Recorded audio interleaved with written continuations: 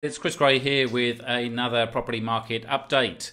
Now, certainly rules around New South Wales, Queensland, and Victoria are different, but what a lot of people need to remember at the moment is a lot of things are changing.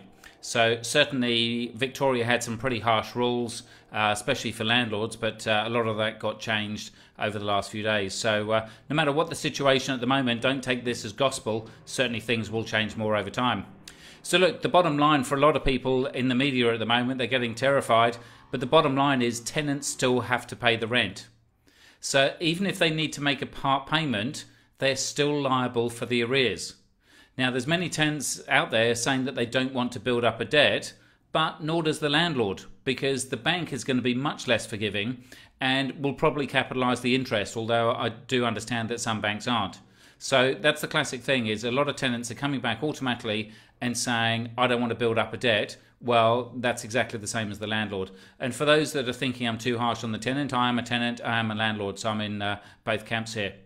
But also, I've got some friends that are, trying to do the same thing on their expensive rents, and they think, well, what have I got to lose? I may as well ring the real estate agent and see if I can get um, uh, some cheap rent. But what they suddenly don't realise is even if there's a cheaper house down the street, you've still got to give notice on your existing property.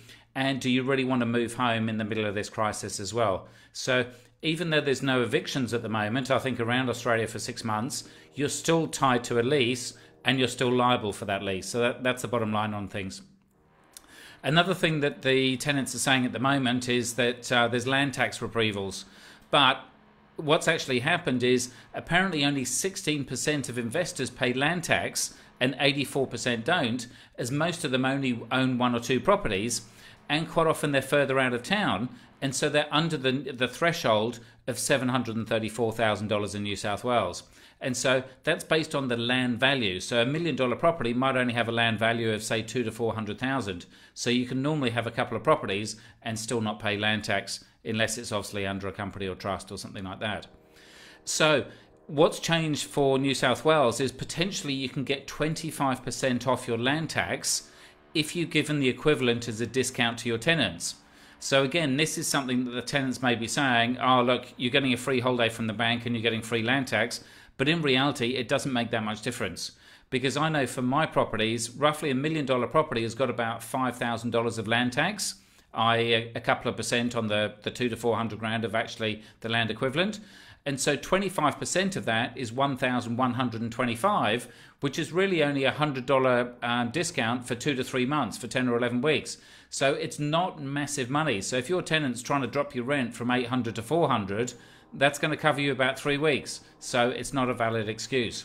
So the key things that we're saying to our property managers or our property managers are saying to us is if a tenant is asking for a rent reduction, the first thing they need to do is give us an outline of their um, work conditions. So, what were they working as before? What were they being paid? What's their current situation?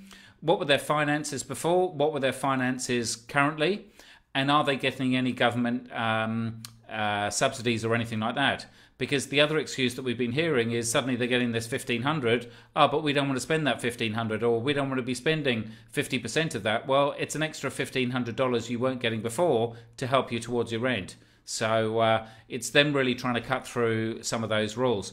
Now I understand in Queensland it's a lot harder for the property managers to ask for that proof but again I think in time those things are going to change.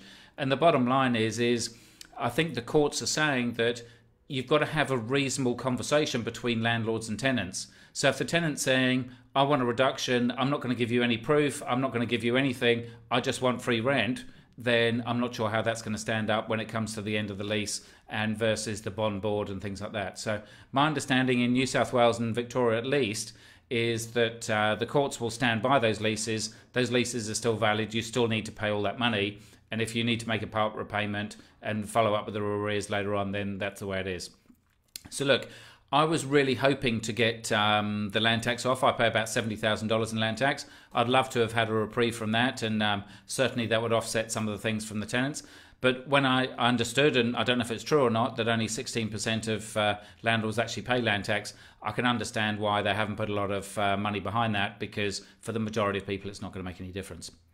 Anyway, stay home, stay safe, stick with it, don't panic, don't make any rash decisions. And I think in time, a lot of these things, just like the um, the virus, the they talk about the flattening curve. I think the same is going to be in real estate. A lot of people are making panic decisions now, but if they just wait for the curve to flatten within the real estate environment, I think things won't be as bad as uh, everyone thinks.